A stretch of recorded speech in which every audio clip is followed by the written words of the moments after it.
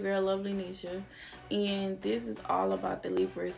And um your birthday is september 23rd to october 23rd and your element is air. Let's get into so the first thing i have to say about libras y'all are very like chill and laid back people. I love it.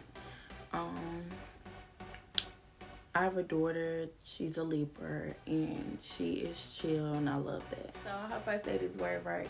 Y'all are indecisive. Y'all don't know what y'all want. Y'all be like, I want this, I want that, I want this, I want that. Make a decision, please, and thank you. Y'all Libras are social butterfly. Y'all got so much good communication. Y'all got good people skills.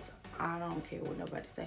Y'all a lot of Libras I know they got good talking game, good communication with people. I love the energy. Keep it out flirtatious people. Y'all flirt and knowing that you don't like the girl or guy, you just like flirting. That's just your personality.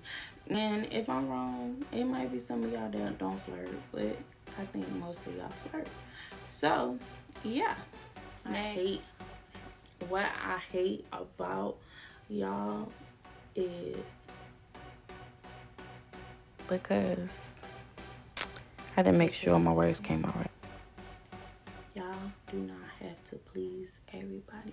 Everybody don't have to be pleased by y'all. Please yourself first and then and then you can please someone else.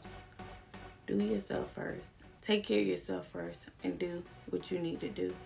I'm out. Is Scorpio next?